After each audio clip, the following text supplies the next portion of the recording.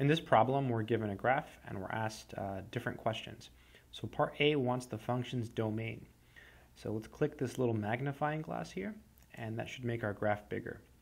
Okay, so the domain is all of the x's that lead to y values. So my mouse here is at negative 4, and there's no y value here. So that means negative 4 is not in the domain. So to find the domain, you go left or right, okay?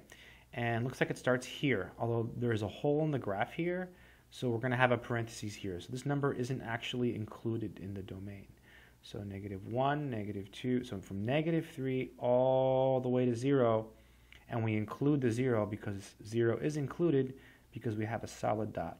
So it's from negative 3 all the way to 0. Those are all the x values that give us y values, with the exception, of course, of negative 3. So I'm going to type it in.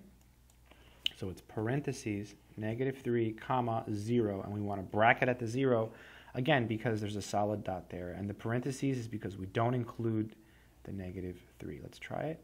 It's always x values for domain, always. Boom, there it is. We got it right.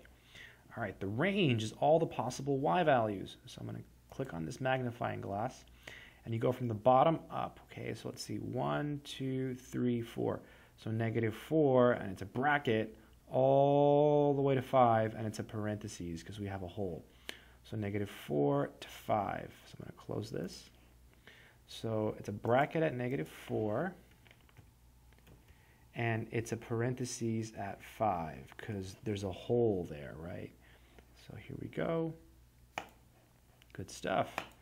The x-intercepts, if any. So the x-intercepts are where the graph crosses the x-axis. Looks like it crosses at negative 2 right here where my cursor is. So at negative 2, that's where the graph crosses the x-axis. So that would be the x-intercept. Let's try it. So negative 2. Good stuff. And then the y-intercept is where it crosses or touches the y-axis. Well, it actually touches it at negative 4. So that would be the y-intercept. So negative 4. So the y-intercept is negative 4. Good. And then f of negative 1. So f of negative 1 is the y value when x is negative 1. So here's negative 1 where my cursor is. So 1, 2, 3.